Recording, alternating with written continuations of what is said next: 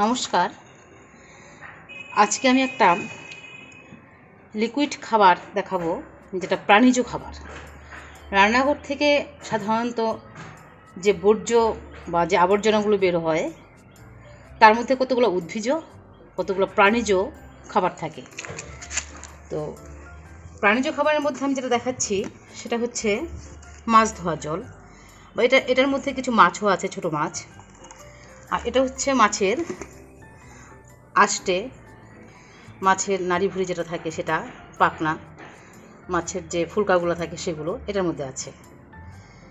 এটার সাথে আমি যদি একটা ডিম মিশিয়ে দিই, ডিম, প্রচুর প্রোটিনযুক্ত একটা খাবার।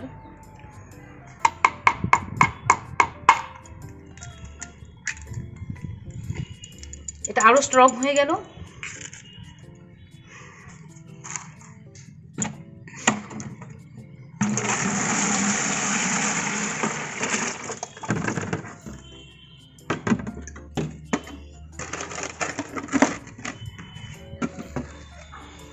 এই যেটা, এটার মধ্যে আছে প্রচুর পরিমাণে nitrogen, phosphorus, potash, calcium magnesium আরও অনেক উপাদান।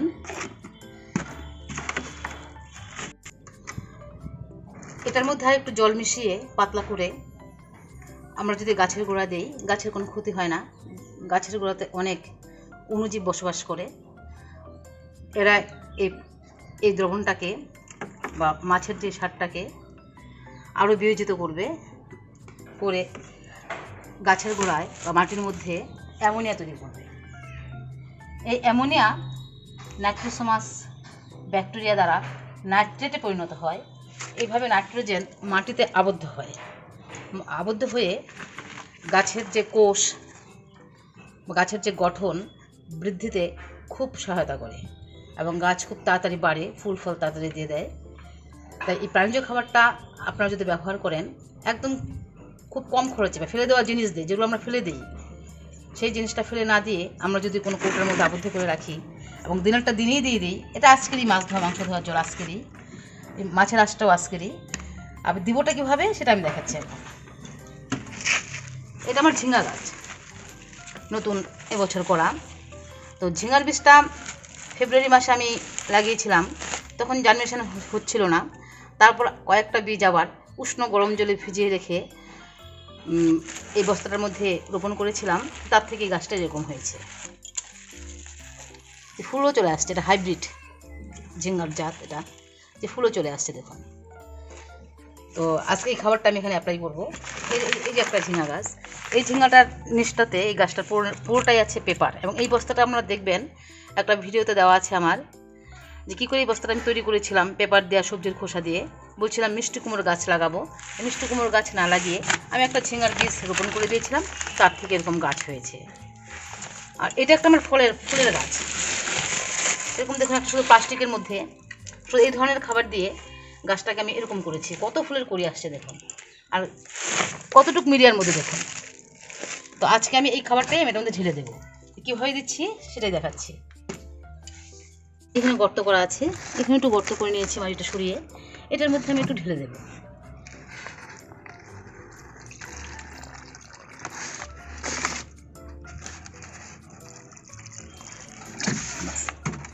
ঢেলে দিয়ে আমি এটাতে মাটি চাপা দিয়ে দিব।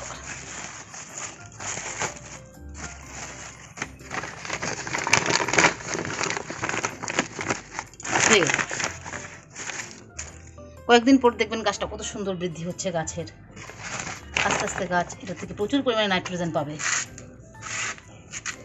এটা ফুলের গাছ। ফুল গাছটাতে আমি অল্প দিয়ে দিব। যেহেতু বেশি মাটি নেই এখানে, তো আমি এখানে একটু ঢেলে দিব। একটা মাছ। এর দিয়ে ঢাকা দিয়ে দিচ্ছি। বাস। যেহেতু এখানে মাটি কম, তাই আমি একটু বালি দিয়ে এটা ঢেকে দিচ্ছি। তাতে কোনো অসুবিধা নেই। আর কিচেন কম্পোস্ট থেকে যে নাইট্রোজেনযুক্ত খাবারটা পায়, সেটার মধ্যে যে উপাদানগুলি থাকে, খুব তাড়াতাড়ি শেষ হয়ে যায়। এটার থেকে যে নাইট্রোজেন পাবে বা যে খাবারটা পাবে, সেটা অনেক দিন থাকবে। এটাই পার্থক্য। তাই বলে কিচেন কম্পোস্ট থেকেও খুব ভালো গাছ হয়, আর প্রাণীজ খাবারগুলো থেকেও খুব ভালো গাছ হয়। বালি দিয়ে দিলাম।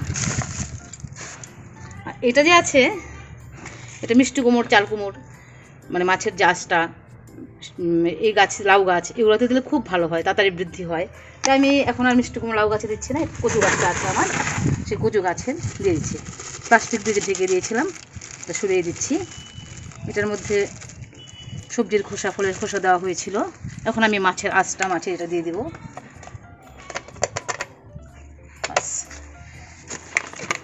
দিয়ে আমি একটু এই দেখুন, মাছের আঁচটা সব দেওয়া হয়েছে। ডিম মেশানো, ডিম আর মাছের জলটা আমি এখানে দিয়েছি